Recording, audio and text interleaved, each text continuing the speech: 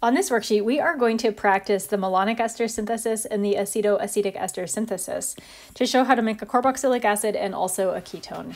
Carboxylic acids are synthesized via the malonic ester synthesis.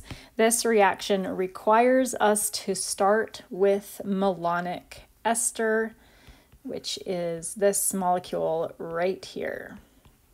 So this, we always start with this particular ester and in the malonic ester, this carbon atom that I'm highlighting is this carbon atom of our carboxylic acid, the alpha carbon. So for this, um, this is going to be either a three-step process or a five-step process, depending on how many alkyl groups you want to put on your alpha carbon. If you want to put two alkyl groups, then it's going to be a five-step process. The first step is going to be using ethoxide. We always use ethoxide to match the um, ethoxy group. Uh, we use ethoxide to deprotonate. It's going to deprotonate the alpha carbon. And then after that, we are going to add one of the alkyl groups that we want to have in our product. And it doesn't matter which one we do first, so let's just do the, the um, ethyl group first. We're going to add it as an alkyl halide.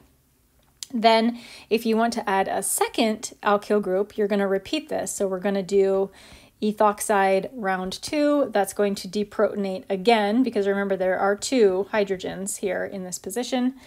And then step four is going to be to add the second alkyl group. This is a PHCH2Br. And then when you're all done, you'll use H3O plus and heat. And this does a hydrolysis, removes the, um, removes the carbonyl groups and synthesizes a carboxylic acid. If you only wanted to add one alkyl group, you would just not have steps three and four. Um, this would be this would be your step three. For making a ketone, we use the acetoacetic ester synthesis. In that process, we start the reaction every single time with acetoacetic ester, which is this molecule right here.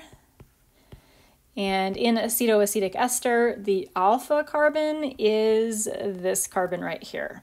So this portion of the molecule comes from the original very similar. This is either going to be a three-step process or a five-step process depending on how many alkyl groups you're adding. The first step is always going to be using a ethoxide to deprotonate that alpha carbon. And then you want to follow that up with an alkyl halide of your desired alkyl group, PHCH2Br. Since we are only trying to one, add one alkyl group in this case, we're done and we are now going to go to the hydrolysis part, which is H3O plus and heat.